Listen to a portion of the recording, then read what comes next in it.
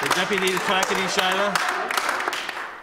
Monsieur le Président, 41 millions maintenant disponibles pour les municipalités. Mais attendez, pour avoir accès à cet argent, les municipalités doivent rédiger un rapport, identifier les totales des pertes, spécifier les pertes, dresser une liste des économies qu'ils ont faites, faire voter et approuver le rapport par le conseil municipal. Tout ceci avant le 31 décembre. Et le ministre de la Gouvernance locale a eu l'audace de dire que personne ne s'est plaint? Alors, que font les autres provinces du Canada, Monsieur le Président? Ils donnent l'argent directement aux municipalités en utilisant l'approche par capita. Cette approche met l'argent dans les coffres plus vite, ne demande aucun exercice de comptabilité et n'exige pas une surcharge de travail aux employés.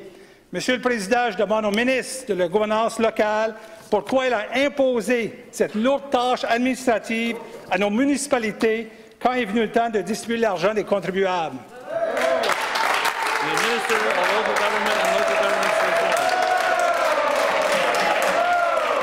Merci, Monsieur le Président. C'est un honneur pour moi d'être ici aujourd'hui devant vous, mes collègues, et représenter Monctoness. Je peux vous garantir, Monsieur le Premier ministre, Monsieur le Président, que le Premier ministre travaille fort sur le dossier COVID. Je ne sais pas si les libéraux euh, reconnaissent ça, mais il y a eu une élection dernièrement. Puis la priorité numéro un, c'est COVID, puis on va faire une bonne gestion du COVID. Puis la seule raison les libéraux sont cranky aujourd'hui, je crois que c'est à cause que le CRA a sorti. Donc, on sait pourquoi ils sont cranky aujourd'hui.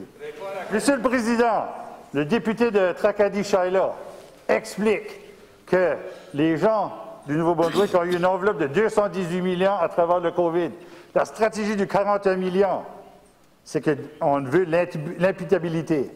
L'argent a été donné sous trois phases. Première phase, le transit, 1,6 million. Ça a été donné le 30 octobre 2020.